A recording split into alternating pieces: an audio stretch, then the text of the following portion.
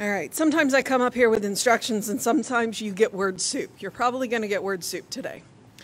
But before you get word soup, um, I'm going to remind you that we do have uh, treatment available after the service. The in room will be with uh, practitioner Shirley Sandlin, and that will be back in the children's room in the back of the uh, room here.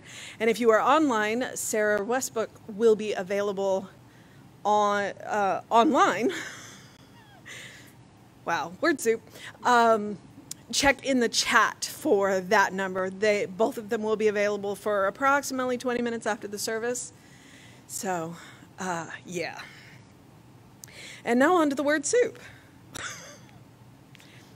um, and it's word soup because of yesterday. I let yesterday lie. I just did. Um, because I have a connection to it, as does my husband. Uh, Jesse referenced the hospital in New York City. My husband was also born in that hospital. Maybe not the exact same building, he may have been built in the one that moved. But so we, we have very definite connections, and I just needed to let yesterday be. But when Jesse was talking about the truckers, my family's from Kentucky. We have mountains. If you've ever driven through mountains, have you seen the runaway truck lanes? And where do they go?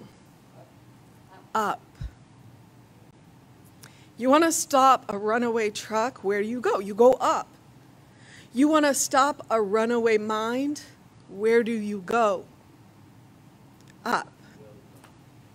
So let's go up.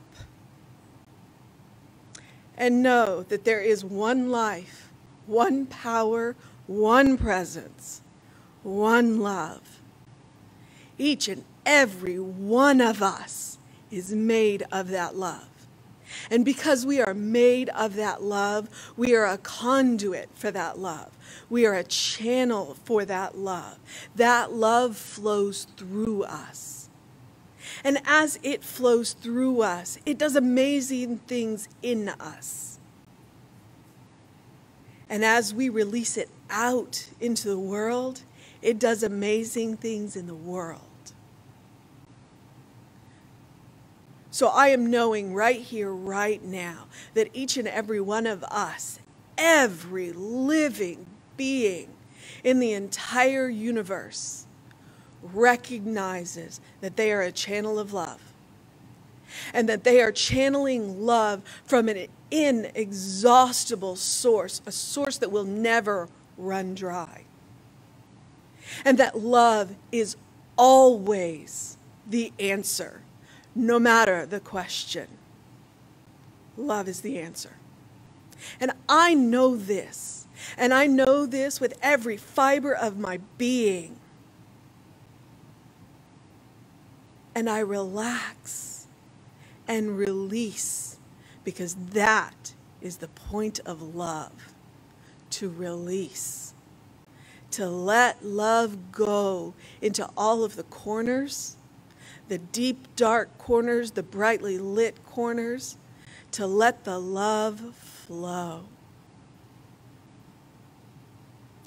And I know, and I am grateful, and I am grateful for each and every one of you, and I am grateful to know this, and I am grateful for this teaching.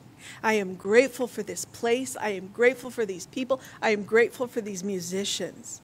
And I'm grateful for the, my partners that help us do this every Sunday to get this message out, to get this love flowing out. And I relax, release, know that it is so, and so it is.